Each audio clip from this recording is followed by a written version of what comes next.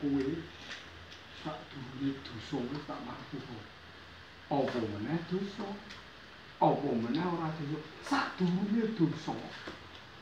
Kowe wis tak ngapura. Hmm, aku dhewe dus, durut. Wedhus ya. Ora iya, aku lak duwe nyamuk, duwe kadang. Wis kadung karo Gusti Allah dikirimi kon minggu wedhus. Terwelu, ya tak rawat. Minggu iki kowe bener anakmu dijaki.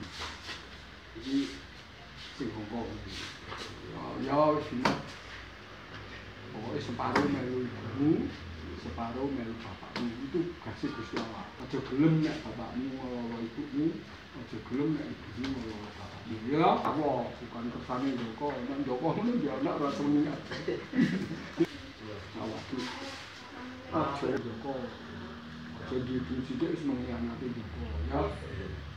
Sok tak dongake di bojo mergo kowe tawadu ora mergo.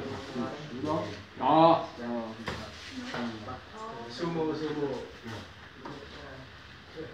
Aku yo ora apal jenenge. Mungkin tak eling-eling lho kekuatan. Kowe iki nek gerak sak ngawur-ngawur apik.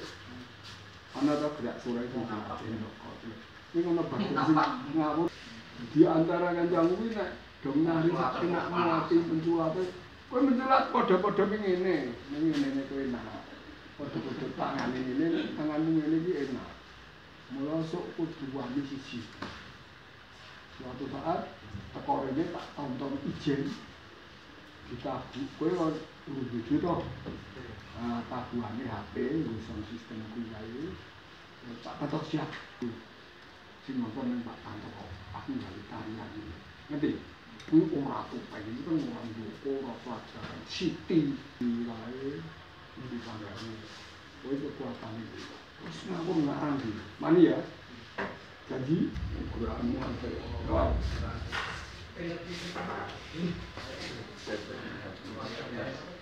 Kowe jeneng kowe sapa? Jawa iku mamen ya. Anak yang situ. Adik dari iki. penting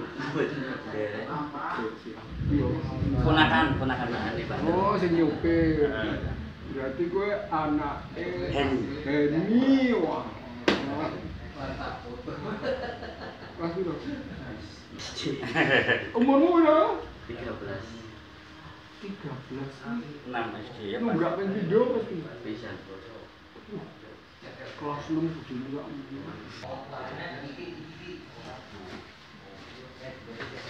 Kowe sapa? Rupamu, rupamu apa ya Yesus? Kok joker to Pak? Ya apa? Joker. Heeh, kaya joker kowe. Tau nyolong to? Siji pesenku. Aja kegodho kanca-kancamu yang.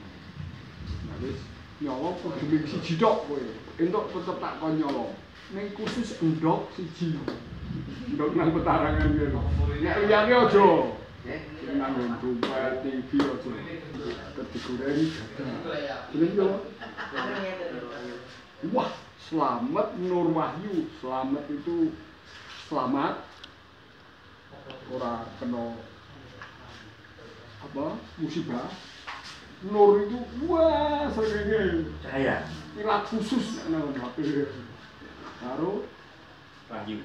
Wahyu wah wis untuk isi Wahyu wis setengah nabi ya ini ora halaman gaya sok kena. Ya wis. Udah ada Pak Wahyu. Bodoh kepitu kok. Ora apa-apa, Pak. Ini bukai wae. Sak wadahe dipangan ora apa-apa.